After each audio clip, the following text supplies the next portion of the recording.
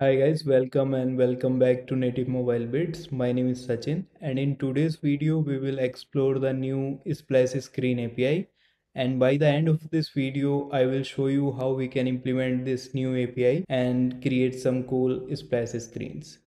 So as we already know that splash screen is basically the very first screen which is shown to the user whenever they launch the application. So in the past we have used many different ways to create a splash screen and few common practices are where uh, we create a activity and we add one splash layout and then we add some delay with the help of timers and then we uh, use intent to go to the next activity maybe our home screen. And another one is there we create one launcher theme and we utilize that as our splash screen. But there was no fixed practice or no guidelines to use uh, splash screen. And uh, we was facing few issues like uh, some white or black window preview at the time of uh, launch or maybe when we was starting our application there was some delay or some kind of these things. But now all these things are past and now in android 12 we have received one brand new splash screen api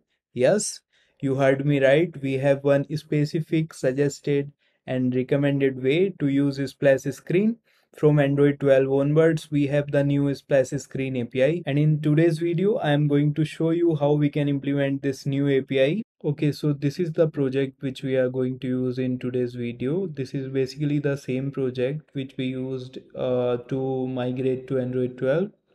If you missed the migration series, I have added the link in the description. You can check that out as well. And uh, let's move ahead.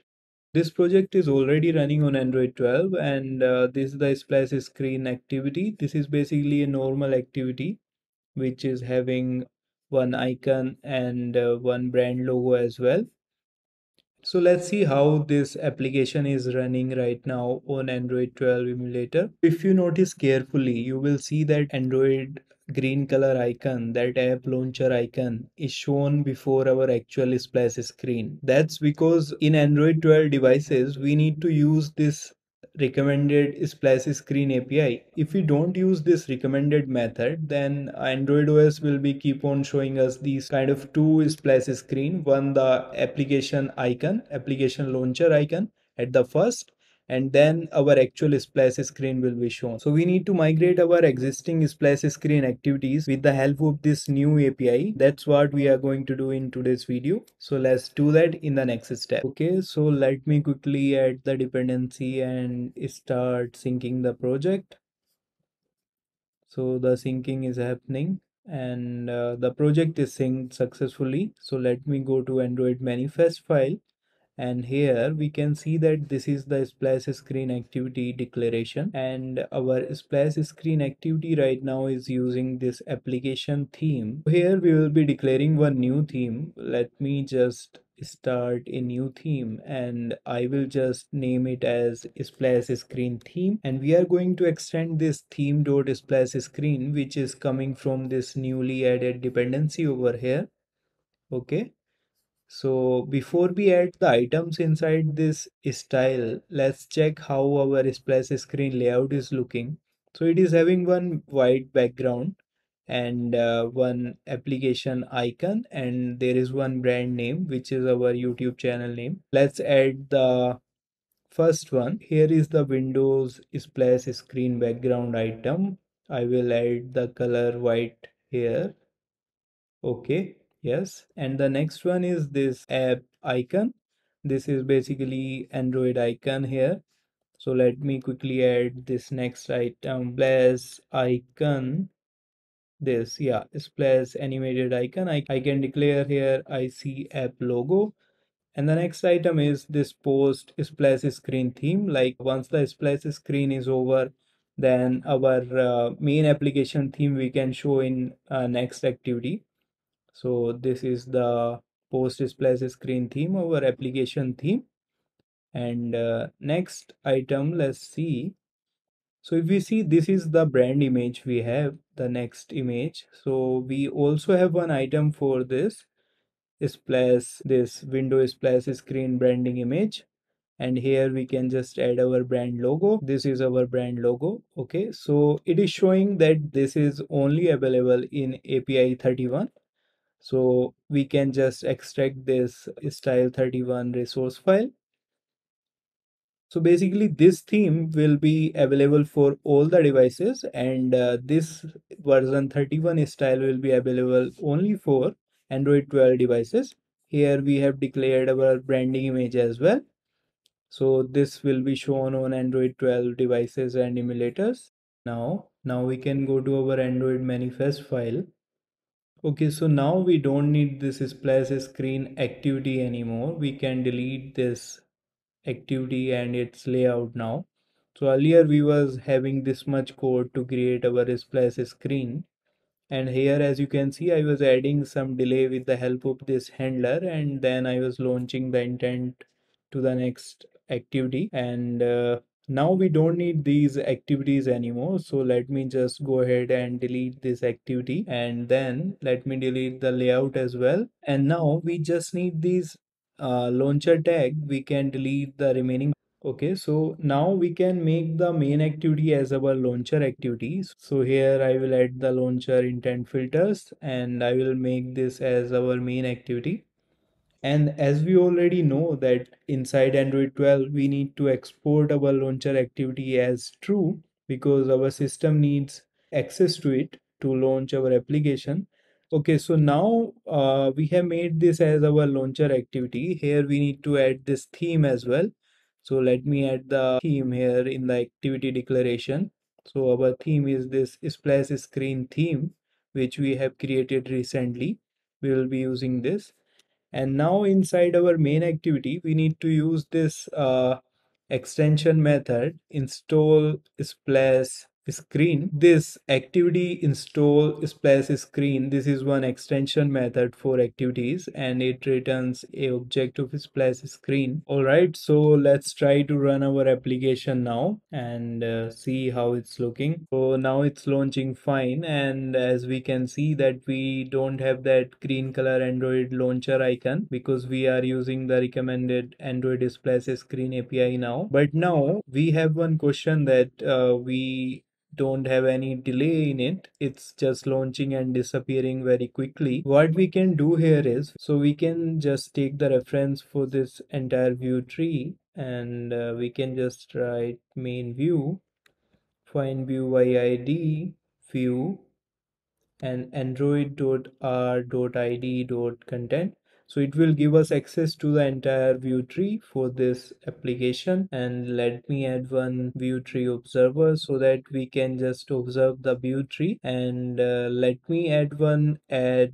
pre-draw listener so that we can just get some callback whenever any new view is about to be added in the view tree hierarchy. Here i will extend the method as well on pre-draw so basically whenever any new view is about to be added in our view tree hierarchy so we will get one callback here inside on pre-draw we can add some condition here based on our requirement like till how much time we need to show the splash screen. So here uh, we can add some condition. Maybe we can check like in which language user was using our application last and uh, maybe we can fetch some data from some API and uh, for this let me quickly add uh, the dependencies to use view model. Okay so the project is syncing now we can uh, create one splash screen view model just uh, to put some variable and replicate some behavior like in which we can make some api or we can add some delay. So let me create some class splash view model.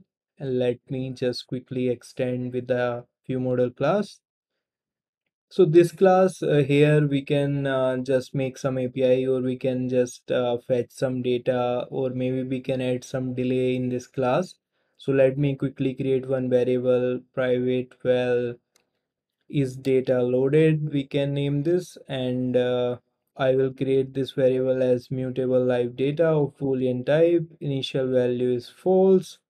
I will create one live data as well for the same thing is data loaded of live data boolean and uh, I will refer to the same mutable live data we created. All right.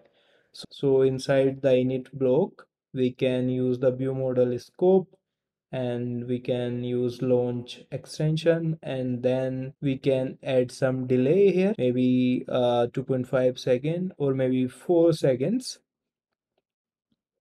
and uh, here after the 4 second delay we can just make this as true like our data is loaded. So we are replicating like 4 seconds delay here.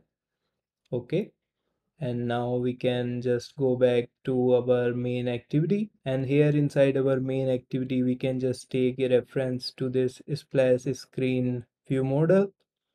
And uh, by view models so i'm just using activity extensions I will just quickly import it. So inside this on pre-draw method, we will add the condition like till how much time we need to observe our splash screen. So let's add this if uh, splash view model dot is data loaded dot value is true, then uh, we need to stay on the same screen.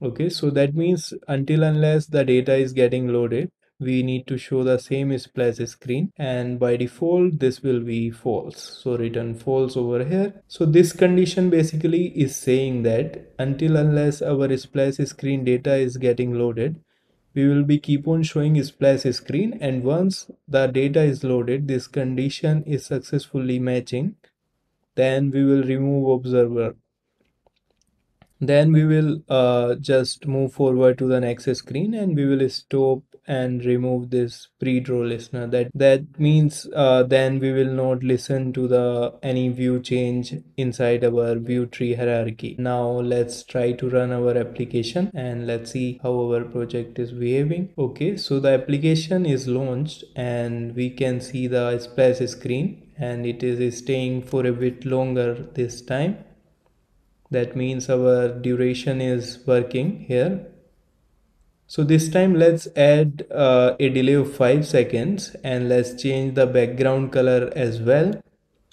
So inside styles I will add uh, let me quickly check some other color over here so let's uh, use this tealish color this time. So let me add this color here inside version 31 style as well. And uh, now let's try to run our application again. Okay so the application is launched and it is showing pretty nice color with 5 second of splash screen visibility this time and uh, this is looking really so nice. finally we have successfully implemented this new splash screen api and it is uh, officially recommended from google from android 12 onwards. So i highly recommend using it and uh, this is very easy to use and this is very user friendly and uh, and with the help of this we don't need to use those uh, old handlers and timers which was causing few memory leaks here and there. And i hope i shared something informative with you today. And if you like this video please like share and subscribe to my channel.